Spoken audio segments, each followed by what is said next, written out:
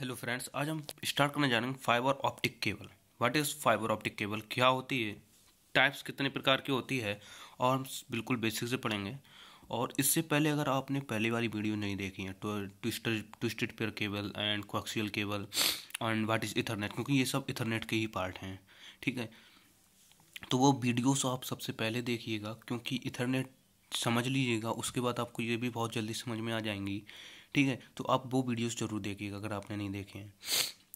इसे स्टार्ट करने से पहले मैं आपको बता दूँ कि अगर आप ओ लेवल की तैयारी कर रहे हैं तो ओ लेवल में जो हमारा आईसीटी सब्जेक्ट होता है ना यह उसकी सीरीज़ चल रही है। आईसीटी में ये क्वेश्चन बनता है फाइबर ऑप्टिक केबल जिसके 75 परसेंट चांस होते हैं एग्ज़ाम में आने के, ठीक है? तो इसे बिल्कुल ध्यान से पढ़िएगा, बिल्कुल बेसिक से मैं पढ़ाऊँगा। अगर आप आईटी टूल्स और इंटरनेट भी बिल्कुल बेसिक से पढ़ना चाहते हैं तो आप चैनल की प्ले लिस्ट में जाकर उनके भी वीडियोस देख सकते हैं, बिल्कुल बेसिक से मैंने बनाए हैं।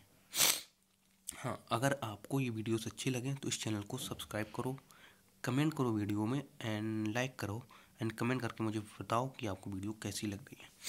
स्टार्ट करते हैं। ट्विस्टेड पेयर केबल क्या होता है?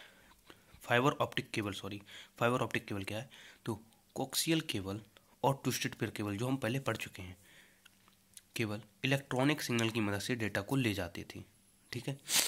जबकि फाइबर ऑप्टिक केबल्स लाइट के माध्यम से डेटा को ले जाती हैं, एंड फाइबर ऑप्टिक केबल्स में पतले पतले धागे जैसे दिखने वाले तार, जो पतले होते हैं, बहुत ही तार होते हैं। ये तार या तो प्लास्टिक के होते हैं या फिर ग्लास के होते हैं।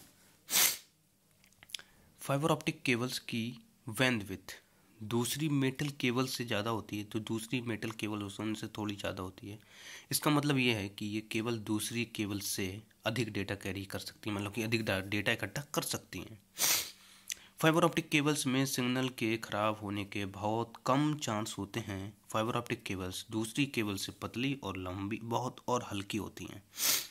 पतली होती हैं, बहुत ही, जो आपको कभी भी ये शॉर्ट क्वेश्चन पूछा जाता है, पतली केबल जो तार बहुत ही पतला होता है, वो ट्विस्टेड फाइबर ऑप्टिक केबल में यूज़ होता है, ठीक है?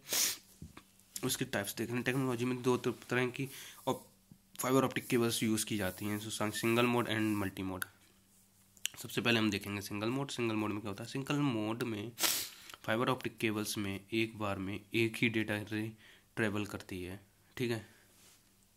दूसरे में क्या होता है? Multi mode fibre multi mode fibre optic cables में एक बार में मल्टीपल डेटा रेस ट्रेवल कर सकती हैं। तो ये सिंगल एंड मल्टी मोड हो गया। तो ये वीडियो आपको कैसी लगी?